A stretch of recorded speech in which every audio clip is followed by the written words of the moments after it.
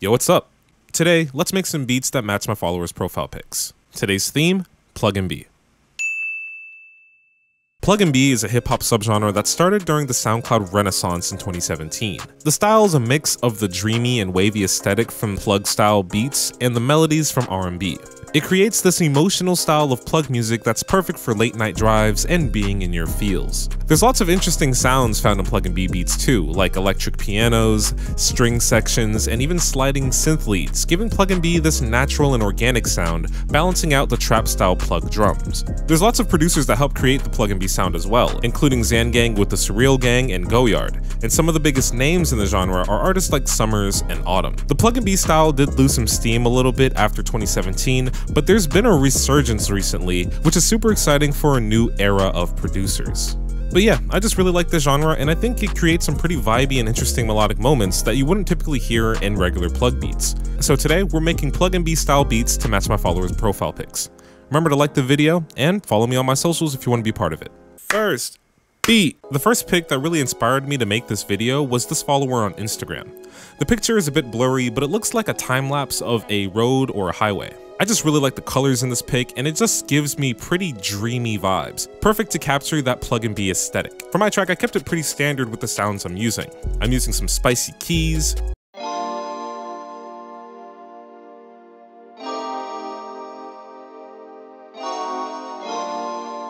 the string sound,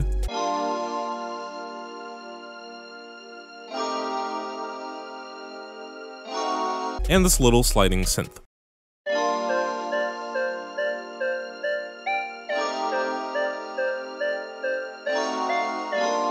Even though the sounds are pretty simple, they really came alive because of the sound selection and the chord progression, which are things you can learn all about with Melodics.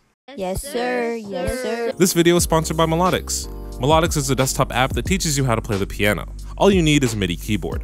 Melodics covers everything from the basics of piano like finger placement and chords to even some more of the complex technical exercises. And everything's organized in different courses so you can improve exactly where you want to. For example, since Plug and B gets a lot of its melodic inspiration from R&B, the R&B course helped me a ton to come up with these beats. Melodics also keeps track of your accuracy and timing while you play, and gives feedback on what you need to work on. It makes learning the piano pretty fun and intuitive. The course is also designed with different genres in mind, ranging from jazz, hip hop, future bass, and everything in between. And once you gain knowledge from melodics, you can use that knowledge outside of the app, like working on your own music, jamming out in a studio session, or even performing live. If you want the app, there's a link in the description, it is free to download. I didn't add much effects to these sounds, just a bandpass EQ and a reverb. And just to add some more spice, I made a second pattern for the sliding synth.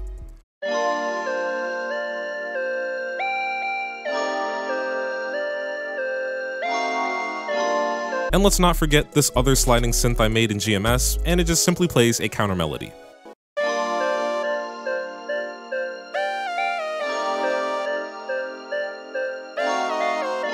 Lastly is the drums.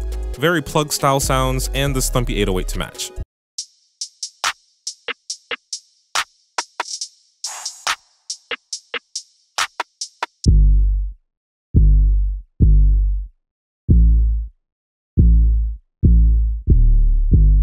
Here's the beat.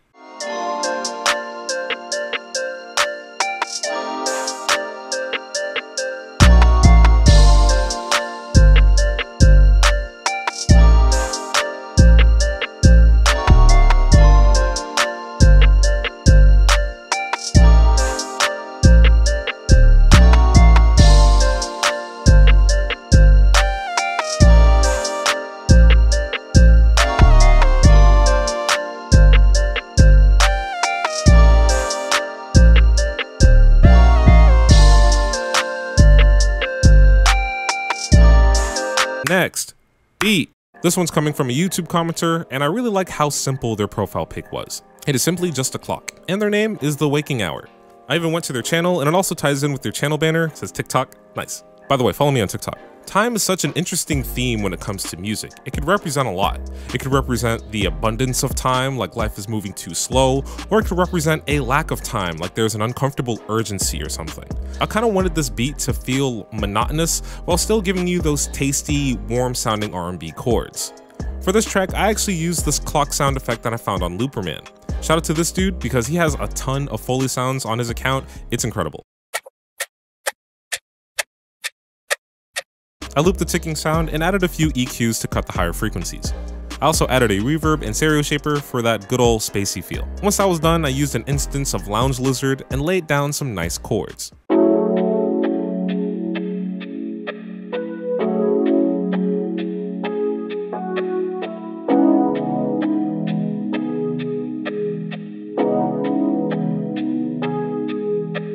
I did something a little different with these chords than what I usually do. I tend to change chords after 4 bars or so, but for this track I wanted to take my time and extend the progression a little. I played the same chord again and added a little melody at the end. I just lived in the moment. I don't know why I did it, it just felt right. I added an instance of vintage chorus, a high pass EQ, and a reverb to dress up the sound. Next I added this acid bass from GMS and this violin string to play on top.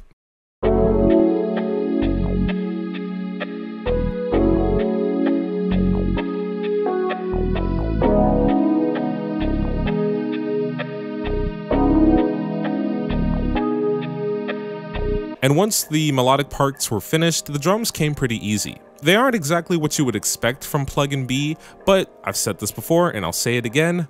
Rules are made to be broken. If you know where that's from, we're friends now. That show was my childhood.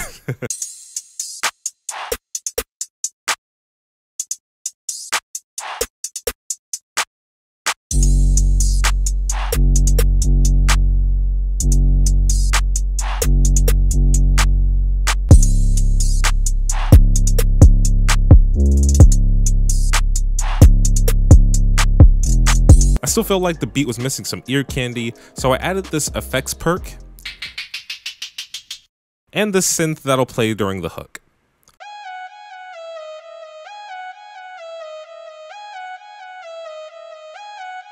And now that that's done, that's pretty much it. Here's the beat.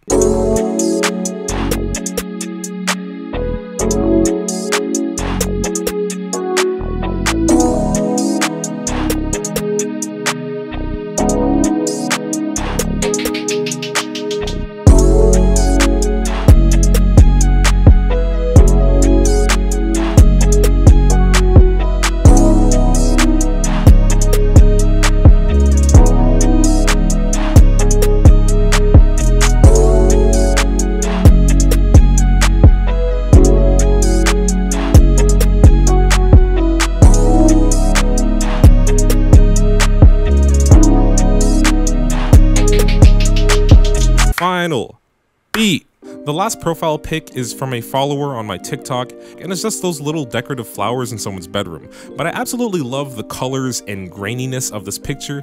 It just spoke to me, the vibes were there. The picture makes me think of those gloomy memories you have, where you read a heartbreaking text from your crush, and you just gotta sit on your bed and stare at the wall. No, I'm not talking from experience. Me? Nah. For my track, I'm using this pad preset from Harmless. I really like the name of this preset too, I thought it was pretty fitting.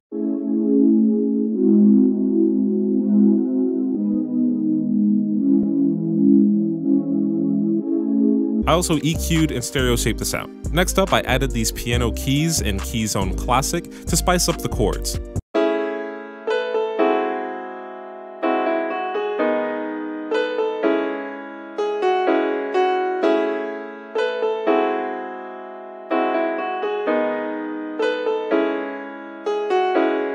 Up next are the go-to strings. I also bandpassed and stereo shaped these as well.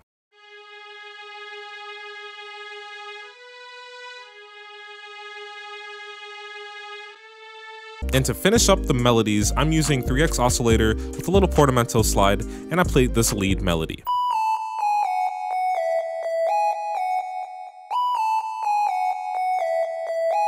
I added an EQ, reverb, delay with Comeback Kid, and a stereo shaper, giving it that pretty big and spacious feel. I felt like the melodies carried the song pretty hard, so I decided to keep the drums very basic and mellow.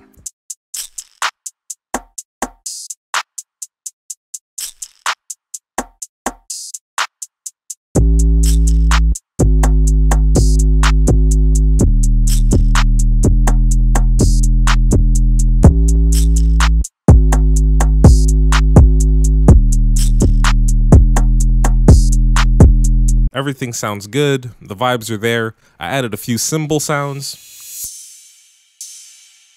And here's the final beat.